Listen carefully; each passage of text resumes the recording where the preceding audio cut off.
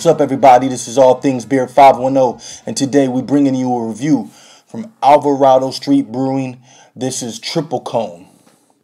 This is a triple IPA brewed with Citra hops, 10.5% um, ABV, 120 IBU. You know, the Bay Area is known for their, their triple IPA, starting with Pliny the Younger. Fairfield um, Heretics Brewing has Evil 3. Drake's Brewing has a IPA. There's an IPA festival during Beer Week in Hayward at the Bistro. Um, Moonraker has one. Altamont has a, has one. Like basically every major Bay Area brewing uh, company has a triple IPA. Um, this is Alvarado Streets. You've seen me review a few of their beers. Um, you know they're from Salinas. They have a pub in Monterey. They're cranking out hazy IPAs. They have some coffee porters.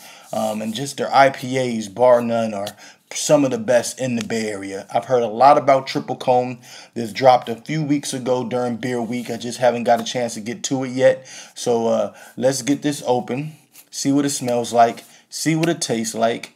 Um, and I'm in my night off with this uh, 120 IBU. I haven't had one that high in very, very long time. So I'm very excited about this one. So yeah, Alvarado Street. I mean, you've heard, you guys have heard of Cellarmaker. You guys have heard of Fieldwork out of Berkeley. You got, you know, there's so many great breweries in the Bay Area right now. But Alvarado Street is uh, becoming one of my favorites, if not um, next to Cellarmaker, maybe my favorite in the Bay Area right now. Let's get a pour.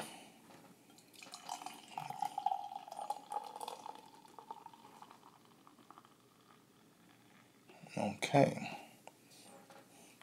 So triple triple IPA time, triple IPA. Like I said, Pliny the Younger, um, you know, is is one of the Bay Area's biggest and well known beers. And actually, at the Bistro, Moonraker had a triple IPA that just um, knocked off Pliny the Younger in a competition. So excited uh, about that one, and maybe one day I can taste that one on the channel.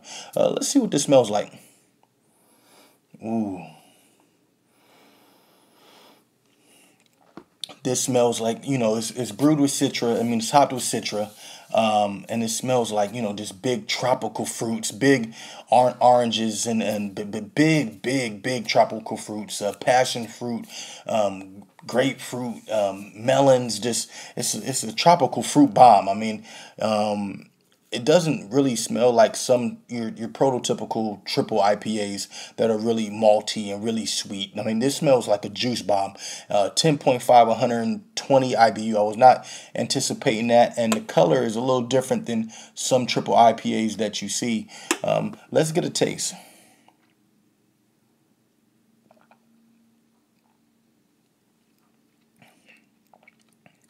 Oh man.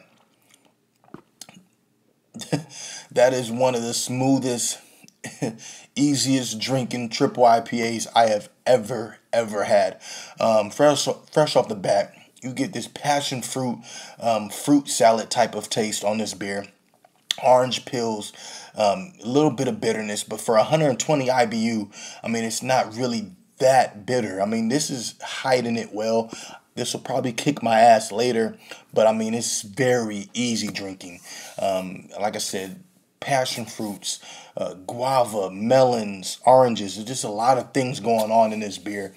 Um, and it's just hopped with Citra, no other hops, uh, and it's just everything meshes well. Um, it's not overly sweet. It's not overly malty. It's not, um, you know, just a, a, big malt bomb like some triple IPAs are. They're just a mess. Um, this is this perfect. This is like drinking like a, a double IPA, and it's a ten point five percent beer. This is this is crazy.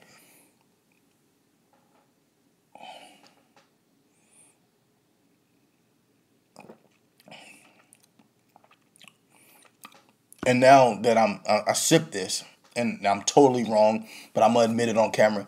I just looked at the side of it. I thought this was just Citra. This is also Mosaic and Galaxy and Citra. So this actually has three hops in this beer. I thought it was just Citra. Um, wow, um, that's where all these tropical crazy flavors are coming from then. Because this is not tasting. When it said Citra, I'm like, how can this just be, you know, hopped with Citra? But no, it's Mosaic. Says it Mosaic, Galaxy, and Citra. Says it right there on the can. Wow. Um, this is outstanding. This is one of my favorite beers um, I've had from them. This is, wow. The triple IPAs, you know, sometimes you know i love them but they can be really sweet like just sweet and malty and you know a little too much and, and then overly bitter. This is 120 ibu and i swear to god this is like barely bitter at all. Um, and then just the hops. Like i said this is a tropical fruit smoothie. This is everything you would want from an ipa and this is a triple ipa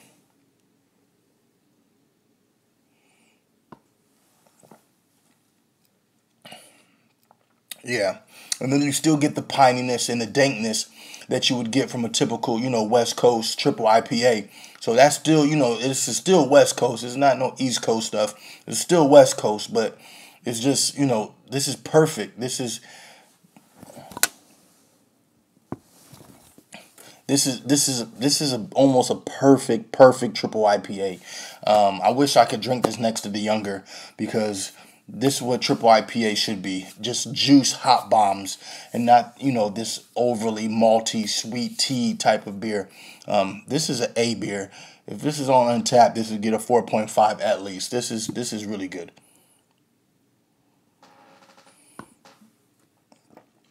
Wow.